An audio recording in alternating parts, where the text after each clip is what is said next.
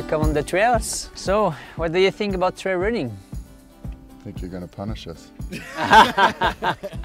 you think it's uh, difficult? It's probably more enjoyable than running on a road.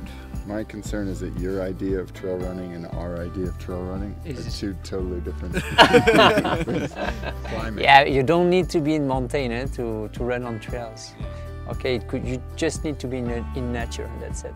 Yeah, in my experience, trail running is uh, really a sport where you need to be concentrate and you need to watch uh, each step. In trail running, the meaning is really to have pleasure from the start to the finish line. It means that when you will arrive uh, at the top of a peak, you can be first or you can be the 50 or 500 you will have exactly the same emotions. So what you're saying is that when people are trail running, they're actually enjoying every single moment of it and there's no suffering. Yeah, because you don't care about the time.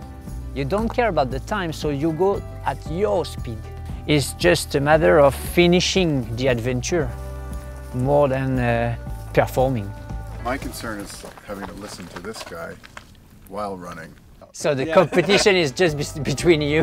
Yeah. Sorry, Amy. Uh, So the goal is to focus on the technique? The goal is to focus on you Okay. because it will be your pleasure, your emotion, and your feeling with the terrain.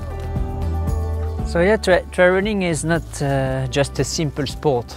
You know, first of all, you are in the middle of the nature, and you can enjoy a lot. You can appreciate where you are, and you know, it's in this environment that all your senses are in activities, because you will smell, you know, the nature, the perfume, you will uh, listen uh, the birds or the wind.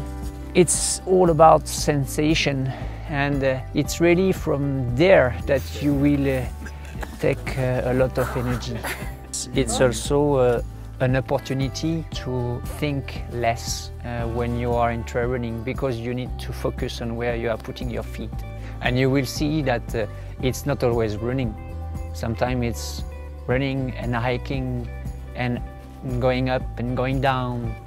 And in trail running, you are using all your body. It's not only the legs, it's also your uh, arms to balance your body.